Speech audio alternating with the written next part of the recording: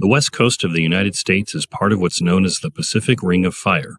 As such, it is subject to destruction from seismic activity and flooding from tsunami waves. Coastal low-lying areas are particularly prone to damage from tsunamis. One example is the town of Tokeland, Washington, part of the Shoalwater Bay Indian tribe. Most of the town lies on a long sandy peninsula no higher than about 15 feet in elevation.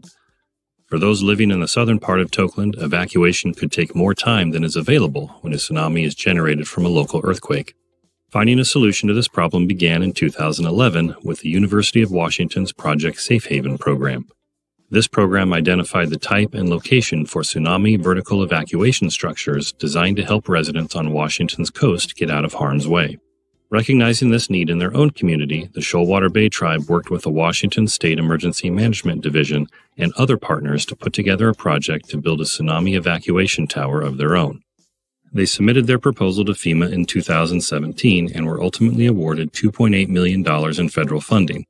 This combined with a million dollars in tribal funding 22. Today, the residents of Tokeland are safer because of these efforts. This new tower can hold more than 400 people and reduces evacuation times by half providing people with a much greater chance for survival in a tsunami event. The Tokeland Peninsula is all sandy soils and susceptible to liquefaction during the strong ground shaking from a Cascadia earthquake.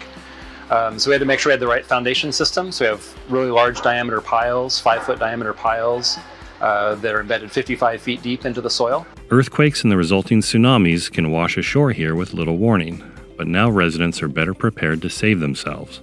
We helped to change the atmosphere of being helpless victims to into one of knowing we can and will survive if we all work together. If you're interested in learning how hazard mitigation can benefit you or your community, visit FEMA.gov forward slash mitigation. Inergency was officially launched during the Natural Disaster Expo in Miami in the spring of 2022 by Hugo Hernandez, who was also the founder of eGreenews. Inergency is an online platform to learn about emergencies and natural disasters, and its founder of believes that scientists and tech leaders are always crucial on humanitarian crises. Leaders on companies like Amazon, Cisco, and Verizon are supporting first responders and communities to stay connected during all the relief efforts. Honeywell developed personal protective equipment to keep workers safer during disasters, cleanup, and DoorDash partnered with mayors to serve populations experiencing food insecurity.